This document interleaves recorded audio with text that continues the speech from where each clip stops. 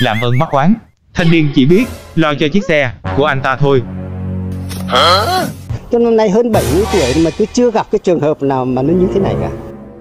Vâng, chúng ta cùng chú ý vào hai thanh niên không làm mà muốn có ăn. Lúc này, anh ta đi vào bẻ khóa và lượm chiếc xe máy.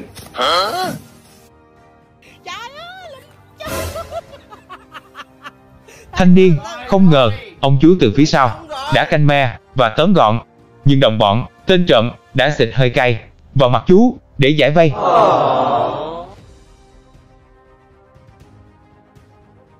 Lúc này, chú xe chạy ra, anh ta liền lò đỡ chiếc xe máy, bỏ mặt chú, ôm mặt, không một lời hỏi thăm.